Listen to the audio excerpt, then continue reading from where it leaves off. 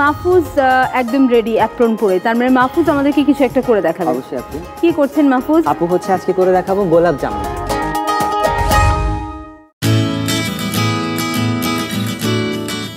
আমরা শুরু করি? অবশ্যই আপু। প্রথমে হচ্ছে আপু এখানে গোলাপ জাম শুরু করার আগে আমি হচ্ছে শিরাটা আগে বসিয়ে দিচ্ছি যাতে ঝটপট আমাদের হচ্ছে মিষ্টি ফ্রাই করে দিতে পারি। দিতে পারি। এই জন্য হচ্ছে আপু এখানে আমি হচ্ছে তিন কাপ চিনি নিয়েছি। আচ্ছা। তিন কাপ চিনি এখানে দিয়ে দিচ্ছি। তিন কাপ চিনির জন্য দিয়ে দিচ্ছি ছয় কাপ পানি। বাহ আচ্ছা। দর্শক আপনারা যে কয় কাপ চিনি দিবেন তার ডাবল পানি দিতে হবে। আপু এখন হচ্ছে আমরা চুলাটা জ্বালিয়ে দিচ্ছি।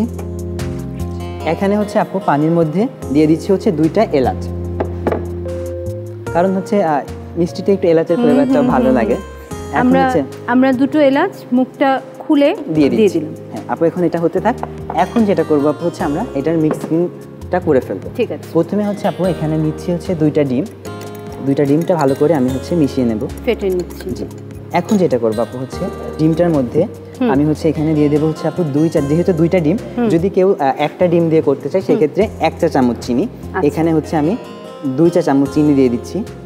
প্রত্যেকটা ডিমের জন্য এক চা চামচ চিনি। করে চিনি। হ্যাঁ আর আপু এখানে দিয়ে দেবো হচ্ছে দুই চা চামচ পানি।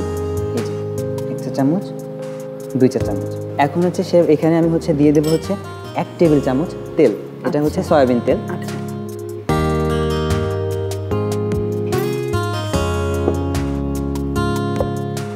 এটা হচ্ছে খুব ভালোভাবে মিশিয়ে নেব।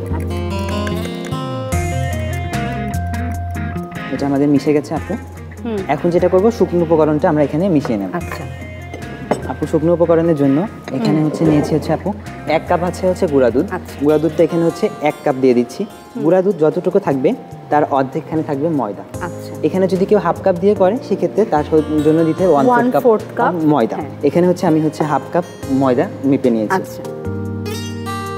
মাহফুজ খুব ক্লিয়ার করে প্রত্যেকটা মেজারমেন্ট খুব সুন্দর করে বুঝিয়ে দেয়।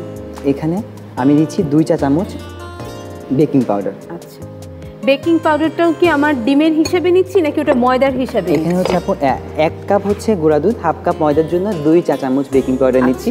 যদি কেউ হাফ কাপ গুঁড়া দুধ আর ওয়ান ফোর্থ কাপ ময়দা দিয়ে করে সেক্ষেত্রে এক চা চামচ বেকিং পাউডার ঠিক আছে। আপু এটা হচ্ছে ভালোভাবে মিশিয়ে নিচ্ছি। এটা কিন্তু খুব ভালোভাবে মেশাতে হবে। মেশানো না হলে দেখা যাবে যে বেকিং পাউডারের মধ্যে যদি দলা থাকে তাহলে দেখা যাবে মিষ্টিটা কোনোটা বড় হবে কোনোটা হচ্ছে আবার ফুলবে। না। এরকম সমস্যা থাকতে পারে। সব থেকে ভালো হয় যদি আমরা এটা চেলে নিই। এখন হচ্ছে আমরা এই ডিমটা এখানে দিয়ে দেবো। সব একবারে দেওয়া যাবে না আমরা হচ্ছে একটু একটু করে দিয়ে মাখাবো যাতে যদি আমাদের কম বেশি লাগে তখন হ্যাঁ। হচ্ছে আমরা এটা কমিয়ে বাড়িয়ে কমিয়ে বাড়িয়ে তাই নিতে না? পারব জি। আমরা প্রথমে মিশ্রণের অর্ধেকটা দিয়েছি দিয়ে মাহফুজ সেটাকে মাখিয়েছে তারপরে আবার আরও যে অর্ধেকটুক ছিল তার অর্ধেক দিয়েছি।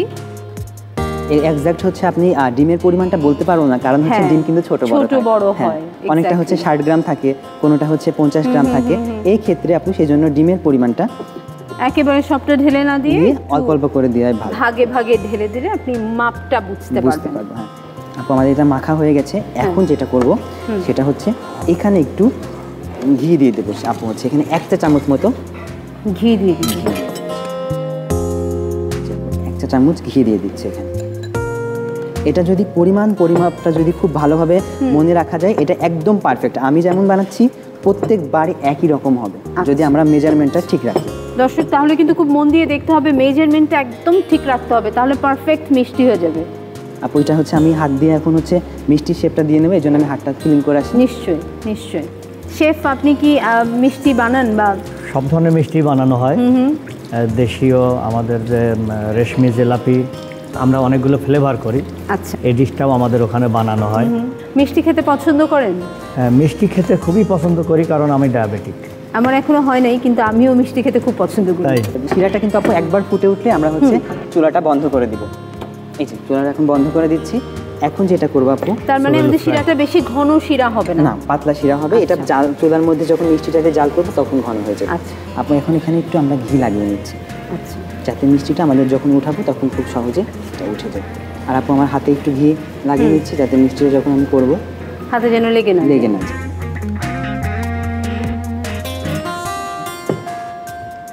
একটু অল্প একটু দিয়ে দিচ্ছি। এই যে এতটুক মানে আমরা হয়তো খুব বেশি হলে দেড় থেকে দুই মিনিট পরে বানাচ্ছি তাতেই কিন্তু আরেকটু এটা যতটা নরম লাগছিল একটুখানি কিন্তু শক্ত হয়ে হয়ে গেছে অলরেডি আপু এটা এখান থেকে আমরা দশটা বানাতে পারব যদি বিগ সাইজ করি তাহলে একটু আচ্ছা। স্মল করলে ষোলোটা হবে। আচ্ছা। আমি এটাই অবাক হয়ে দেখছি যে একটা মিষ্টিও একটুও ফাটছে না তো আমাদের এখানে দশটাই হয়েছে আমরা একটু বড় সাইজ করেছি। একটু বড় সাইজ দর্শক এখন যেটা দেখে মনে হচ্ছে আসলে মিষ্টিটা কিন্তু বেশ বড় হবে কারণ এটা তেলের মধ্যে যাবে তারপর রসে যখন ভিজবে তখন এটা সাইজ বেশ বড় হয়ে যাবে। আপু এটা ডুবো তেলে ভাজতে হবে হচ্ছে এই জন্য তেলের পরিমাণটা আমরা হচ্ছে বলতে পারব না যখন যেটুকু মনে হয় সে বাস ওকে তেলের পরিমাণটা আসলে নির্ভর করে আপনি কোন কন্টেনারে ভাজছেন সেটার উপরে। এখন হচ্ছে আপু যেটা করব আমরা হচ্ছে এই তেলটা দিয়ে কিন্তু গরম করা লাগবে না। আমরা এই ঠান্ডা তেলের মধ্যেই হচ্ছে মিষ্টিগুলো দিয়ে দিই আমরা কিন্তু মিষ্টিটা আরেকবার করে দিচ্ছি কারণ কি এই যে আমরা বানানোর সময় দেখা যাবে যে একটু চাপটা হয়ে যায়। আমরা যদি এটা এভাবে দিই তাহলে মিষ্টিটা কিন্তু তেমন চাপটাই থাকবে। এই জন্য আমরা তেলে দেওয়ার সময় কিন্তু মিষ্টিটা আরেকবার হচ্ছে আপনার গোল করে দিই।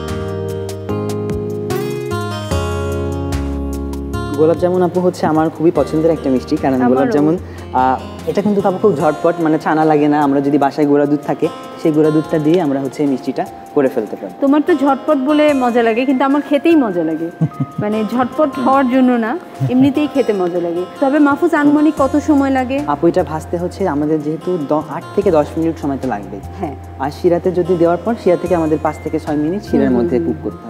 টোটাল আমরা আধা ঘণ্টার মধ্যে যদি বাসায় ট্রাই করি আধা ঘন্টাতে এই মিষ্টিটা বানানো সম্ভব এটা হচ্ছে ভাজাটাই একটু লেট প্রসেস তারপর হচ্ছে শিরাতে দিলে খুব বেশি সময় লাগে না।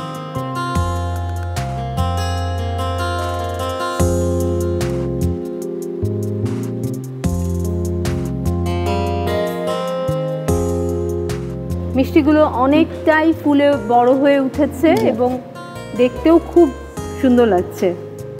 এটা হচ্ছে কিন্তু আপু একটু ব্রাউন কালার হবে। তারপর যখন শিরার মধ্যে দিব তখন সেটা কিন্তু একটু লাইট হয়ে যাবে।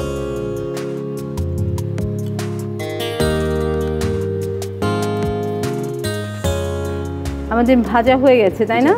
এখন আপু আমরা চুলাটা বন্ধ করে দেব।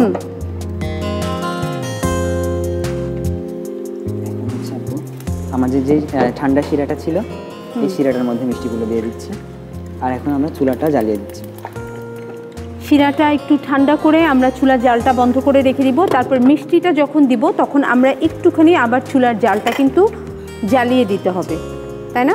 জি আপু এখানে আমাদের পাঁচ থেকে ছয় মিনিট হচ্ছে আমরা মিষ্টিটা এখানে শিরার মধ্যে দিয়ে চুলা জাল করে রাখব।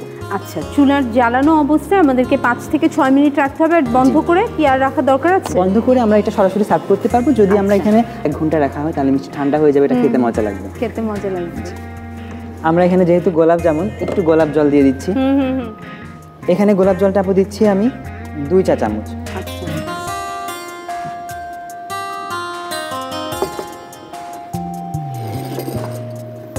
দোকানের মিষ্টির মতন গন্ধ এখন পাওয়া যাচ্ছে। হুম কারণ হচ্ছে যেহেতু গোলাপ জল দিয়েছি গোলাপ জলটা দেওয়ার সাথে সাথে। সাথে সাথে। আমাদের পাঁচ ছয় মিনিট হয়ে গেছে আমরা হচ্ছে এখন আহ, মিষ্টিটা দেখে আমাদের কি অবস্থা। দেখেন আপু মিষ্টিটা অনেক বড় হয়ে গেছে আমাদের শিরাটাও সোক করে নিয়েছে। দেখি বোঝা যাচ্ছে। এখন হচ্ছে আমরা চুলাটা বন্ধ করে দিব। হুম মিষ্টিটা অনেক বড় হয়ে গেছে মানে যে সাইজটা আমরা বানিয়েছিলাম সেটার অলমোস্ট তিন গুণ হয়ে গেছে। হয়ে গেছে। মিষ্টিটা এখন সার্ভ করে ফেলি। দর্শক দেখে বোঝা যাচ্ছে অনেক সফট হয়েছে এবং পুরো রসটা ভেতরে ঢুকে গেছে।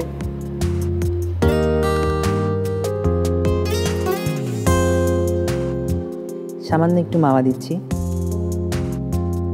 পেস্তা বাদামটা দিলে একটু সবুজ কালার দেখতে ভালো লাগবে। গোল্ডেন ফ্লেক্সটা দিয়ে দিচ্ছি। তো আপু তৈরি হয়ে গেল আমাদের গোলাপ জাম। Thank you so much Mahfuz. দর্শক দেখতে পাচ্ছেন দেখেই খেতে ইচ্ছে করছে তাই না? কাজে এই রেসিপিটা ফলো করে আপনারা যদি বাড়িতে বানাতে চান তাহলে আমার মনে হয় এরকম চমৎকার লোভনীয় মিষ্টি বানানো যাবে। চলুন দেখে এই পুরো রেসিপিটা আরও একবার।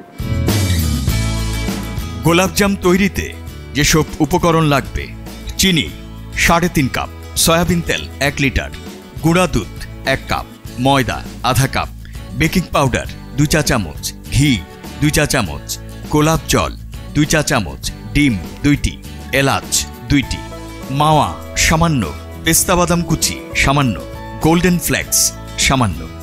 গোলাপজাম তৈরির শুরুতে আমরা এর শিরা তৈরি করব। সেজন্য একটি হাঁড়িতে তিন কাপ চিনি, ছয় কাপ পানি ও দুইটি এলাচ চিড়ে দিয়ে চাল দিতে হবে। শিরা জাল হতে হতে একটি বাটিতে দুইটি ডিম নিয়ে ফেটিয়ে তাতে দুই চা চামচ করে চিনি ও পানি এবং এক টেবিল চামচ সয়াবিন তেল দিয়ে মেশাতে হবে। এখন আরেকটি বাটিতে এক কাপ গুঁড়া দুধ, আধা কাপ ময়দা ও দুই চা চামচ বেকিং পাউডার দিয়ে ভালোভাবে মেশাতে হবে। মেশানো শেষে এতে ডিমের মিশ্রণটা আস্তে আস্তে দিয়ে মাখাতে হবে। সাথে এক চা চামচ ঘি দিতে পারেন। শিরা ফুটে উঠলে চুলার জাল বন্ধ করে দিতে হবে। এখন হাতে ও একটি প্লেটে সামান্য ঘি লাগিয়ে নিতে হবে যাতে ময়দার মিশ্রণ লেগে না যায়। এবার ময়দার মিশ্রণটা হাত দিয়ে গোল গোল ছোট আকৃতির বল বানিয়ে নিতে হবে। এখন আরেকটি প্যানে এক লিটারের মতো সয়াবিন তেল দিয়ে তাতে ময়দার বলগুলো দিয়ে অল্প আঁচে জাল দিতে হবে আট থেকে দশ মিনিট। আট থেকে দশ মিনিট পর বাদামি রং ধারণ করলে মিষ্টি শিরার হাঁড়িতে দিয়ে পাঁচ থেকে ছয় মিনিট জাল দিতে হবে। কিছুক্ষণ পর মিষ্টির হাঁড়িতে দুই চা চামচ গোলাপ জল দিয়ে ঢেকে দিতে হবে। পাঁচ থেকে ছয় মিনিট পর গোলাপজাম নামিয়ে পরিবেশন পাত্রে নিয়ে উপরে অল্প করে মাওয়া, পেস্তা বাদাম কুচি ছড়িয়ে দিয়ে ও সামান্য গোল্ডেন ফ্ল্যাক্স দিয়ে সাজিয়ে পরিবেশন করতে পারেন মজাদার গোলাপজাম